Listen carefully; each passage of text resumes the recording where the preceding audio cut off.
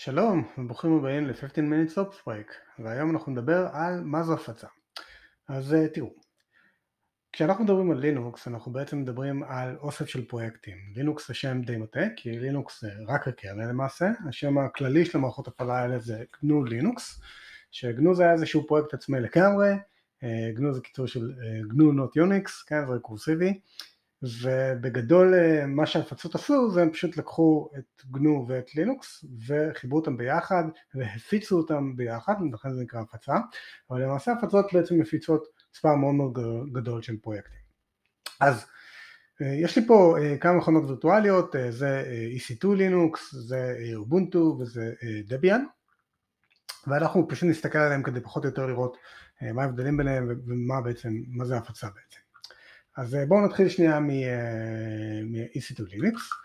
והדבר ראשון שאנחנו רוצים לראות זה בכלל איך אנחנו מזהים שזה זה. אז חוץ מזה שכתוב לנו פה אה, ב-message of the day בהתחלה אז הרבה מאוד הפצות יש להם איזשהו קובץ ב-ETC כן? שאומר בעצם מה זו ההפצה הזו כן? אז למשל בפעם זה יהיה משהו כמו reddit release כן? אנחנו יכולים לעשות כזה דבר release ולראות אם יש קובץ כזה כן בסדר? פה אנחנו רואים שזה אמזון ה vendor של זה וזה בעצם אמזון לינוקס, אוקיי? על אותו משקל אנחנו נלך עכשיו לאובונטו, בסדר?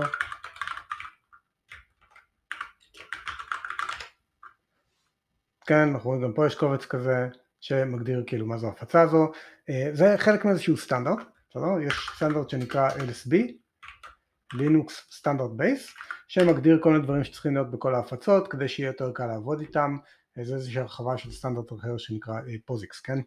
אה, אז אם מתקינים את כל החבילות שדרושות לקומפטביליטי עם LSB אז תהיה גם פקודה שנקראת LSB Release שאפשר לראות בה כל מיני דברים כאלה. עוד משהו מעניין זה UNAME, UNAME מראה לנו אינפורמציה על הקרנל ואנחנו יכולים לראות פה את הגרסה של הקרנל, את ה-host name, זה שזה לינוקס, אה, את הארכיטקטורה שאנחנו רוצים עליה, כן, במקרה זה ARM, כן, מכונה של ARM 64 אה, וכל מיני דברים בסגנון ואתם רואים שבגרסה של ה kernel אה, בין השאר יש גם minor, אה, אה, בעצם מוגדר פה ה patch release שזה אובונטו, כן? ככה אנחנו יודעים שאובונטו קימפלו. בואו נעשה את אותו דבר על דביאן. כן, אנחנו רואים גם פה זה לינוקס, כן, זה הגרסה של ה kernel זה 5.10, פה באובונטו זה היה 5.11, כן, ודביאן, כן, וגם כן, אנחנו עובדים פה על ARM 64, אוקיי?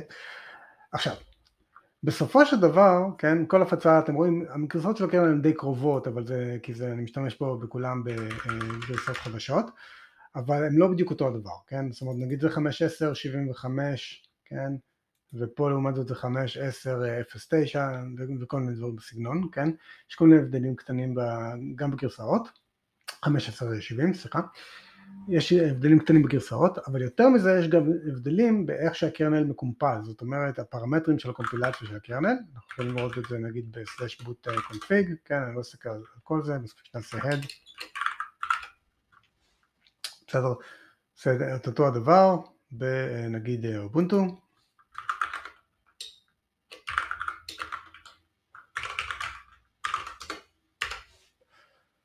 בסדר, אנחנו רואים למשל שה compiler הוא לא בדיוק אותו compiler, אה, אנחנו נסתכל על כל הפרמטרים של, ה, של הקונפיגורציה, אנחנו נראה שיש עוד הבדלים, כן בואו נעשה עכשיו טיילר של הקטע,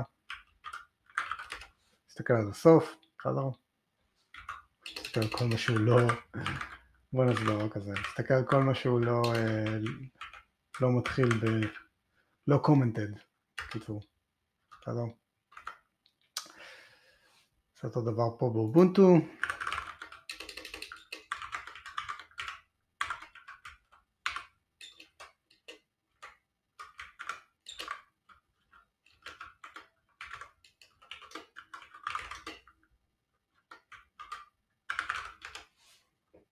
אז סתם נסתכל עכשיו על הסוף של הקונפיגורציות, אנחנו נראה שזה לא בדיוק אותו הדבר, אוקיי? במילים אחרות, כל הפצה מקמפלת את הקרנל טיפה שונה, אוקיי? ולכן גם הגרסה של הקרנל הייתה בדיוק אותה גרסה, הקרנל הוא לא, לא אותו קרנל, הוא קומפל בצורה שונה, זאת אומרת יכול להיות שיש בו מודולים אחרים, יכול להיות שיש חלקים אחרים שפעילים או לא פעילים, אה, פרמטרים שהם שונים, כל מיני דברים כאלה. עכשיו זה גם נכון לכל החבילות שבעצם הפצה אה, מפיצה, כן? תזכרו בסופו של דבר הפצה זה פשוט אוסף של פרויקטים שונים ומשונים שהפצה חיברה, כן? וכשאנחנו אומרים אוסף שונה של אה, של פרויקטים זה אומר בעצם החבילות שמגיעות עם ההפצה זה יכול להיות חבילות אחרות לגמרי או אותן חבילות רק שהן מקומפלות בצורה אה, טיפה שונה אוקיי? אז בואו נתקין עכשיו חבילה נתקין לצורך העניין את Nginx uh, כן? ואנחנו פשוט נסתכל על הקונפיגורציה של Nginx איך הוא קומפל בסדר? אז נעשה apt install -y Nginx ואותו דבר גם בדביאן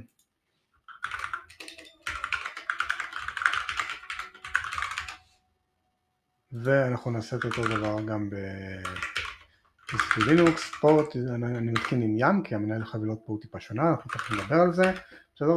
תזכרו שהחבילות לא חייבות להיות באותו uh, שם, אוקיי? שימו לב, Nginx is available as Nginx 1, בסדר? Uh, רגע, מה זה Linux Extra Topic, כן, אני צריך לאפשר פה עוד ריפוזיטורי, שניונת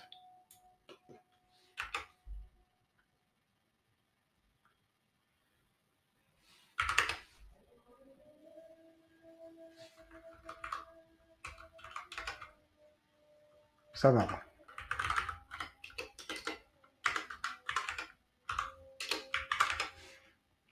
אז אלה הפרמטרים של Nginx קונפג איתם, כן, זאת אומרת זה גם פאפים איפה עושים את הקבצים של Nginx, כל דברים כאלה, אבל גם כל מיני דברים כמו איזה מודולים יש ב-Nginx וכמובן פרמטרים של GCC וכל מיני דברים כאלה, כן, אנחנו יכולים לראות את זה פה. עכשיו לצורך העניין אם אנחנו נסתכל פה על Nginx, כן, אפשר לראות שם פרמטרים אחרים לגמרי, בסדר? גם מבחינת איפה הקבצים נמצאים, אבל גם מבחינת איזה מודולים מופעלים, וכמובן שגם בדביאן זה אולי זה יהיה שונה, אם כי אני מניח שדי דומה.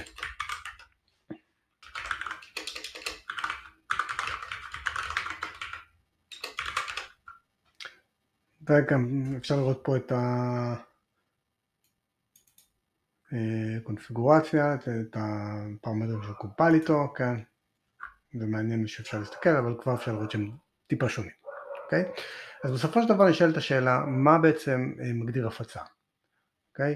אז מה שמגדיר הפצה בסופו של דבר זה, מנה, זה שני דברים, זה המנהל חבילות שלה והריפוזיטוריז, אוקיי? אז מה זאת אומרת המנהל חבילות? לכל הפצה יש איזושהי תוכנה שאיתה מתקינים חבילות בהפצה ובעצם מגדירים את ההפצה. במקרה של אובונטו ודביאן זה apt, כן?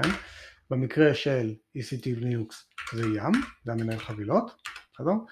והמנהל חבילות הזה מושך את החבילות מאיזה שהם repositories, repositories זה בעצם שרתים באינטרנט שהם אה, פשוט storage שמכיל אה, מלא חבילות, אנחנו יכולים לראות בקובצי הקונפיגורציה איפה נמצאים החבילות האלה, כן? אה, יש פה כל מיני משתנים שמחליפים, אבל בסופו של דבר זה פשוט נמצא באיזשהו סרבר, כן? וזה הפאט של הסרבר. ואנחנו יכולים לראות את אותו הדבר באובונטו, כן? apt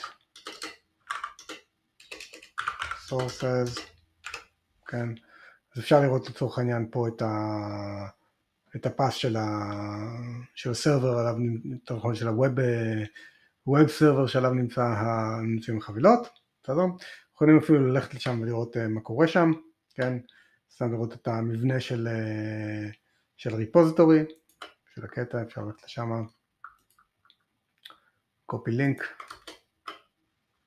כן, יכולים לראות פה, כן, יש פה אינדקס אה, שמסביר כל החבילות, אפשר ממש ללכת פה לתוך ה directories ולראות את החבילות, אם זה מעניין מישהו, כן, אבל בסופו של דבר יש פה קבצים של חבילות, deb זה קובץ של חבילה, זה סוג של archive, כן, tar, tar אז אמ, מה בעצם זה אומר, כן?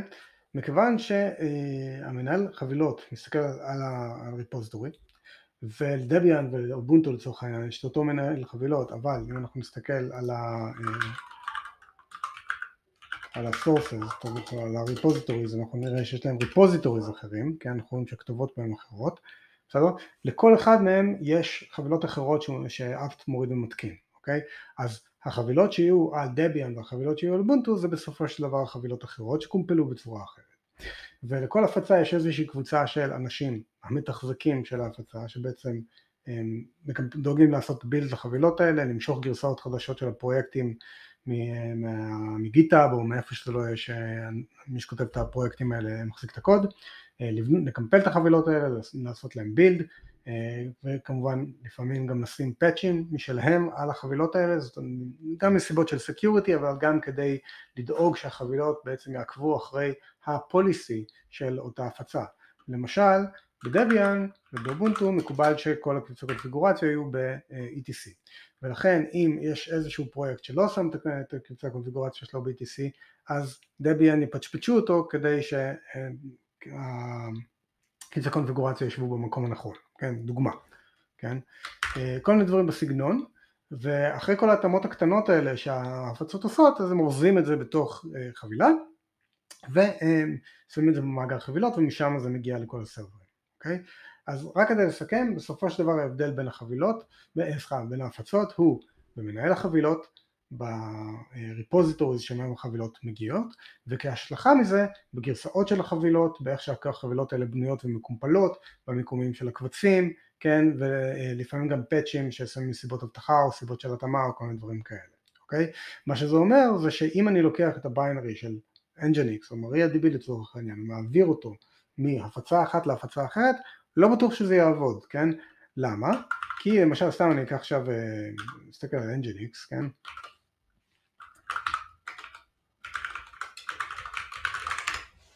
LDD בעצם מראה לי את הספריות שהביינרי הזה, שהאקסקיוטיבל הזה מקושר אליו ואפשר לראות פה שיש פה רפרנסים לכל מיני ספריות של המערכת. עכשיו הספריות האלה כמובן גם, בו, גם מגיעות מאיזה שהן חבילות של ההפצה ולכן גם הגרסאות שלהם חשובות ומכיוון שבמקור זה קומפל מול ספרייה מאוד מסוימת אם אני אקח את זה עכשיו להפצה אחרת אז ספרייה שהביינרי הזה יעבוד איתה יכול להיות מגרסה אחרת לגמרי שלא בטוח שהיא מתאימה ופשוט תצפו לבעיות כן? וזה כמובן בלי להיכנס לזה שיש כל מיני פיצ'רים בקרנל ודברים כאלה שאולי מופעלים ואולי לא וכולי וכולי וכולי אוקיי? אז צריך לעבוד עם חבילות של ההפצה או להשתמש ב... static binaries, כן, כל מיני דברים כאלה. וכמובן בסופו של דבר אם אתם משתמשים ב Docker, אז, או קונטיינרים בכללי, זה פחות משנה כי הקונטיינר בעצם אורז כל החבילות של מערכת ההפעלה, אה, כל החבילות שצריך לתוך בעצם image אחד. ואז הדבר היחידי שמגיע מחוץ לקונטיינר, זאת אומרת שהוא לא חלק מההפצה שארוזה בתוך הקונטיינר, זה רק הקרנל, וכן, לפעמים גם קורה שיש אי שם, אבל זה קצת יותר נדיר. אז זהו, אה, אם יש לכם איזה שהם שאלות או טענות, מענות, הערות, כל הדברים האלה, יש לנו אישוז בגיטה, תרגישו חופשי, שים דברים שם.